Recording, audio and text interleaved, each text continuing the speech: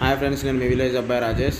ఈరోజు నేను ఒకరికి కొంత సహాయం చేశాను ఫ్రెండ్స్ మీరు కూడా వీలైనంత వరకు ఒకరికన్నా ఒక రోజుకి కొంత సహాయం చేయండి ఫ్రెండ్స్ థ్యాంక్ యూ ఫ్రెండ్స్